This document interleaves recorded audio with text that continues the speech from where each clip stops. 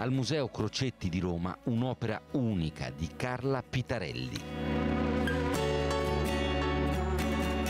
Studiato fino ad arrivare ad affinare una tecnica ehm, con una serie di composizioni eh, che vanno dalla fotografia alla pittura e con una post produzione eh, su un grande pannello di LED.